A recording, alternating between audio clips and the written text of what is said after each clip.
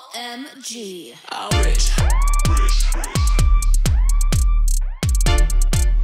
So one thing about being in my late 30s is I fully understand that I don't know anything about pop culture. Like, I don't know who Milli is. According to the internet, she was born in 2002, which is about the point at which my music knowledge ends. But even in my grumpy old man bubble, this got through. This was Coachella Music Festival earlier this year. And this is Milli, who's a Thai rapper. And she set the internet on fire when she did this on stage. That's right, she's eating mango sticky rice. Overnight, the Thai national dessert became a trending topic all across social media. And here in Bangkok, the dish saw a surge in popularity. Shops sold out of their inventory and lines formed down streets outside popular restaurants. But that's not a massive difference from what it's always like here. Everyone likes mango sticky rice. Like, of course, Milli would bring a bowl of it onto a California music festival stage. What, is she supposed to wait until the concert's over? Mango sticky rice is really good. And guess what? It's got a pretty interesting story, too. So that's what we're doing today. We're gonna head out all across Bangkok in search of the very best mango sticky rice. Find out the history of this dish and see just what it is that makes this so irresistible.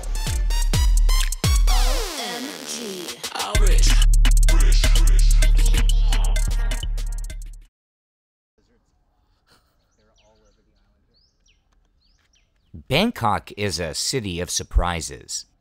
And few are more unexpected than Bang Krachao, an island in the middle of the Chao Phraya, the last 16 square kilometers of jungle remaining for an hour in any direction. Here, life moves slowly. This could be anywhere, any village in Southeast Asia. It's hard to believe that it's basically downtown Bangkok. And in the northeast corner of the island, along one of the few roads here wide enough for cars to pass, is what the most obsessed local foodies consider the best mango sticky rice on earth. Every morning, Mother Suay goes to the market and picks out the best mangoes from the local farms. She brings them back to her shop where she goes through them again, picking out the ones with any imperfections and slicing them, then drying them in the sun to sell in packages for about 10 cents each. Only the very best make it to her counter, where every day from early in the morning until mid afternoon, she and her husband serve plate after plate of their specialty to locals, neighbors, and the lucky few in the know.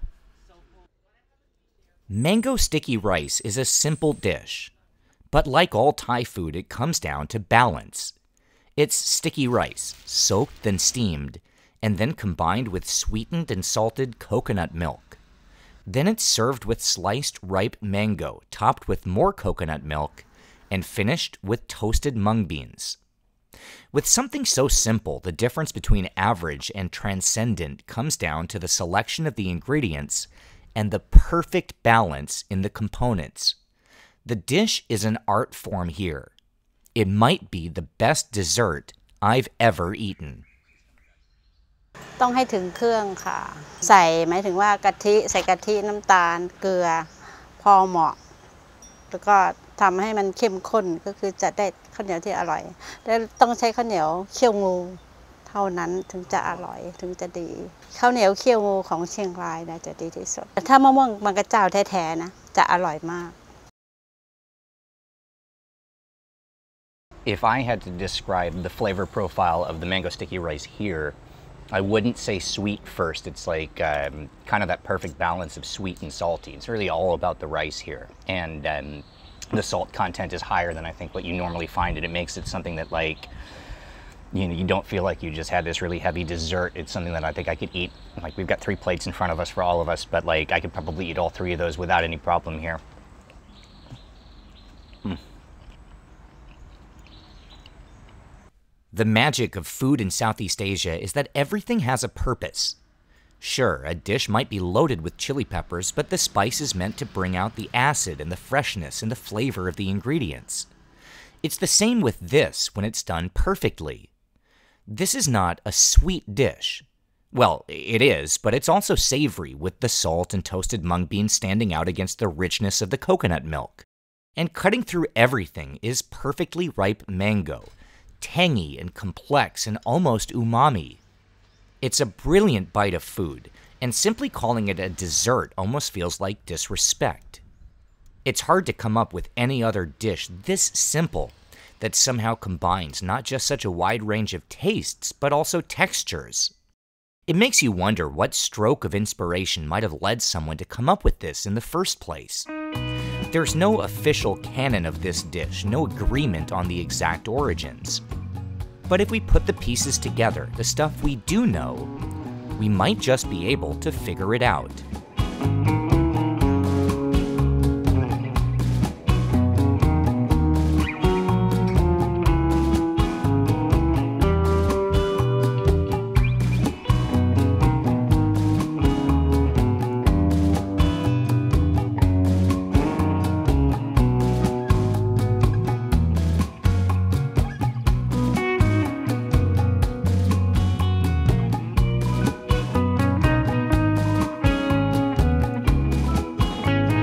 So the history of mango sticky rice is, is actually pretty interesting. Uh, it involves the fortuitous meeting of a lot of different dishes and ingredients. But the easiest way is to start by talking about the actual mango and sticky rice. See, sticky rice is endemic to the tropical foothills along the Mekong River between the delta in Vietnam and the mountains in China. The stretch of land where it comes from is mostly within the country of Laos, except for this bit right here which forms the border between Laos and the region in Thailand known as Isan. Now, for this part of the video, I wanted to film at a Laotian restaurant, but in Bangkok, there are practically zero. I mean, there are three Nigerian restaurants in Bangkok, which are awesome, by the way, but somehow I can only find two places that are identified as Laotian, even though Thailand and Laos are next door neighbors. But that's actually not as crazy as it sounds, because for all intents and purposes, there's really not much difference between Lao food and Isan food. It's the same stuff from a culinary standpoint, and Isan restaurants are absolutely everywhere. If you want the real deal Lao versions, just ask for Lao style, which basically means the same thing but knock you on your ass spicy. Anyway, Lao is the country of sticky rice. It's the national food of Lao. Lao people love this stuff. The average Laotian eats more than a pound of sticky rice every day. Every day. Sticky rice has an ancient history along the Mekong. It's been part of the diet in Lao and Isan for about 5,000 years. The entire Lao and Isan food culture is based around it. Famous regional dishes are all meant to be eaten the same way. Grab a bit of sticky rice, form it into a ball, and then use it to pick up or dip into whatever else you have and then eat it together. That also, by the way, applies to dessert. Lao people and most likely Thais and Isan for millennia would satisfy their sweet tooth by mixing sticky rice with fresh fruit. It could be any fruit, and obviously this is Southeast Asia, there are a lot of fruits. But a few of the most popular items to eat with sticky rice were durian and mango. This version of mango sticky rice has been recorded in Thai history for centuries.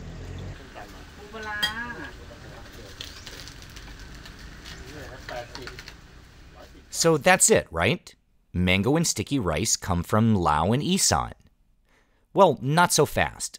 The Lao version was just sticky rice, that's it. No coconut milk, no toppings, no palm sugar or salt.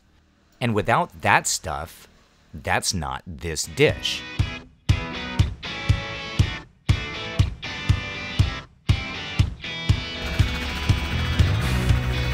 So, we only had part of the story. We have the mango and the sticky rice, but who decided to start mixing the rice with coconut milk? That most definitely is not an ancient Lao or Isan tradition. And what about the crunch from the mung bean seeds?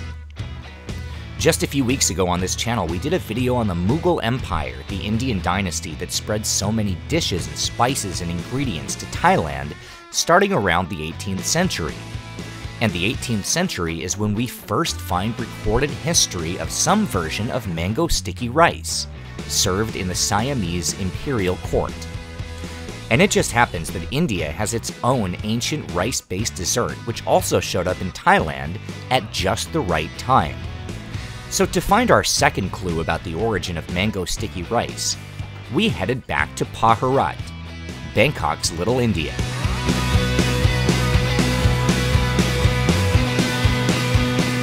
If you dig deep into the genetic history of mangoes, and what else would you do on a Saturday? You'll find that they originated in India, either here in the Tamil Nadu state, or here in the area known as Bengal, including Bangladesh. But that was a long time ago, and mangoes have been cultivated in Thailand and Laos for long enough that it's pretty much irrelevant to our story. It's the same with toasted mung bean seeds. Mung beans also originated in India and became over time a critical part of the overall diet in Thailand. I mean, good luck going at least one full day without having a handful of mung bean sprouts here. But again, they've been cultivated in Thailand for so long, about 2,000 years, that it's not a major part of our story. But this, this is. This is kheer. It's rice pudding. At its core, it's rice boiled in milk and palm sugar. And this has been served in southern India for thousands of years. Now, kheer is not exactly a direct precursor of mango sticky rice. It's packed with distinctly non Thai tastes and ingredients like cardamom and raisins. But there are a few telltale clues here. Obviously, there's the sweet rice and milk, even though it's non glutinous rice and dairy. And kheer has that familiar crunch, in this case from nuts like pistachios or almonds. So let's take what we already know that around the 18th century, fruit and sticky rice from Isan and Laos had spread throughout Thailand, and traders and immigrants from India were arriving with their own sweetened rice dessert. Those are the facts. But what happened next? Did someone just all of a sudden decide to shove those dishes together like a corporate merger? Or did these two components just simply keep evolving, influences from east and west of Thailand slowly taking root? What would rice based desserts look like in the kingdom if we could go back in time a century or two? And for that answer, we can thank two of Thailand's great rulers, King Rama II who in the early 1800s started recording his favorite imperial Thai dishes, and Rama V, who led the country during a prosperous period in the late 19th century when dishes from his palace began to spread to the general public. And thankfully, there are restaurants in Bangkok that serve the cuisine of the old imperial courts, time capsules that preserve and protect ancient recipes. And one of the very best is this place, Anya Authentic Thai in Rattanakosin, the old shophouse district just a couple of blocks away from the King's Palace. Here, they serve an embarrassment of riches of some obscure and nearly forgotten Thai imperial foods from the last few centuries. And among their desserts are these two dishes that caught our eye. First, this dish, which dates back centuries, though it's still popular today. It's banana cooked in coconut milk. There's no rice in this dessert, but otherwise the flavor is just about right. Coconut, a bit of salt, and the almost umami flavor of barely ripe bananas cooked until soft and tender. And then this one. I'd never had this before.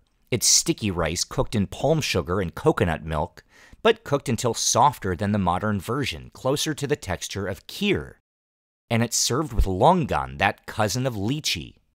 Now, longan was a later arrival to Thailand brought from China in the mid to late 1800s. So this would not be an ancient Thai dish, nor is it Indian.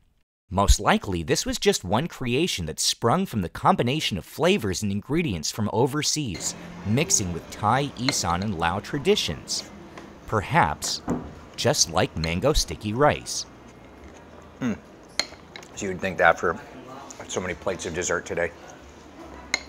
I'd be struggling to get through this. But to be honest, I'm not eating because the camera's rolling, because this is really good.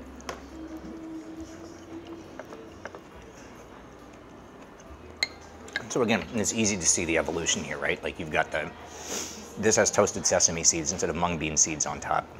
Um, but yeah, with the saltiness, coconut milk and the sticky rice. It's one step away from from you know where we're where we're going.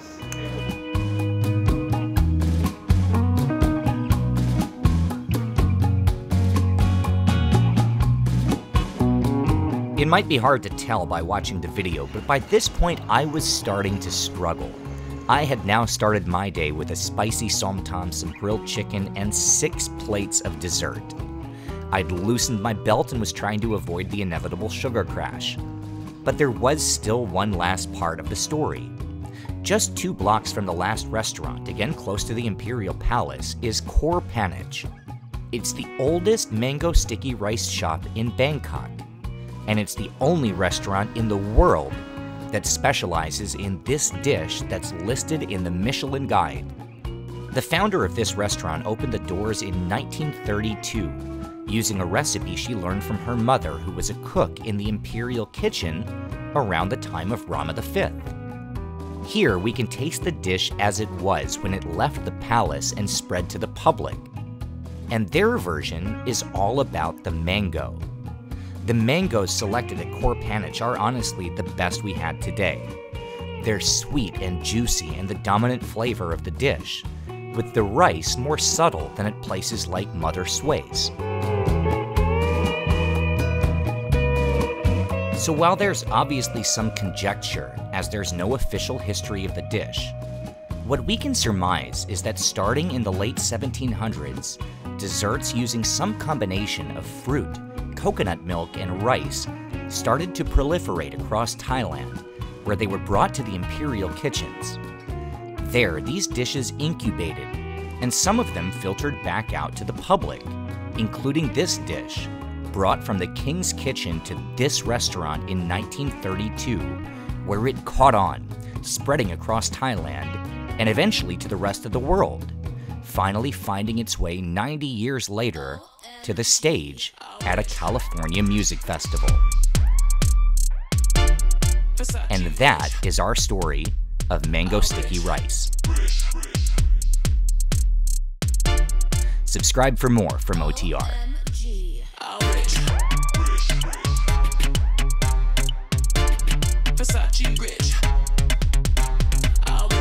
I feel like I'm on the brink of a diabetic coma. like if I'm in in 30 years, if I'm lying in a hospital bed with diabetes, it's today that I'm going to look back at as the day that probably put me there.